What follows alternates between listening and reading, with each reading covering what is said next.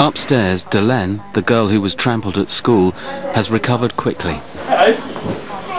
Hey, how are you? Good. Did you enjoy your helicopter ride? I can't believe you don't remember, you don't remember anything at all. No. Do you remember us coming to you at school?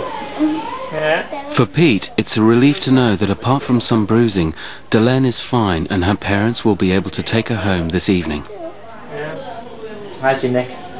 It was really sore, wasn't it, before? Yeah? Okay, well next time we'll get you awakened and you can fly around when you're awakened, okay? Ah, ja. A week after her brain surgery, Kate Close, the woman who was thrown from her horse, is still unconscious and seriously ill in intensive care. At her side are her daughter, Belinda, and her husband, Jim. We're now, what, six days in. She's still heavily sedated to relieve pressure on the brain. They, they, they took the clot off very successfully, and um, we're talking about recovery periods, you know, to get out of that. Um, as of yesterday, uh, they were telling me that her, her expectation is that she will live, but they won't know what the damage is, although they expect there to be problems until she is actually conscious again. Have you um, thought about what the future may hold for her? Oh yes, every day, every minute I think about it, but in a sense there's not a lot of point. I mean you put things in little boxes, I just want her to get, get her back alive and then whatever the issues are between us and all the excellent services that are around, we'll, we'll handle it.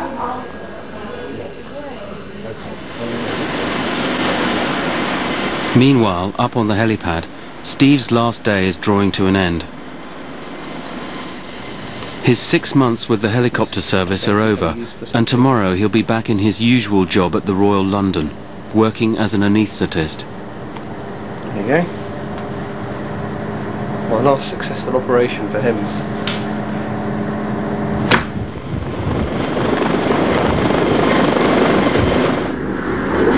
Ta-da! Oh, fine. Doesn't bother me at all. I mean, look, would you want to go out on that every day? Nah, not me.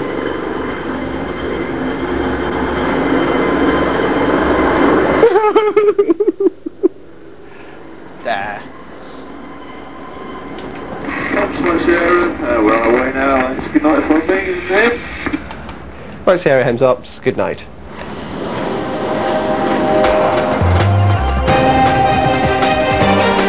We're also waving goodbye to the big red helicopter for the moment because next Tuesday at 8.30, the House Doctor is back.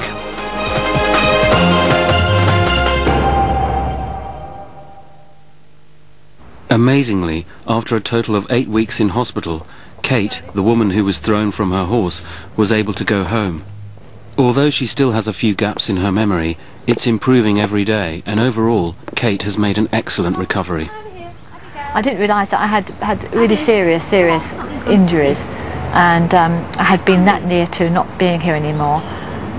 But it's great, great being home. It's great being alive. Unbelievable. There's a free fact sheet to go with this programme, written with the help of the emergency doctors. For a copy, please write to Condition Critical, PO Box 55, London W12 8UE, or call the Channel 5 order line on 0990 555 055.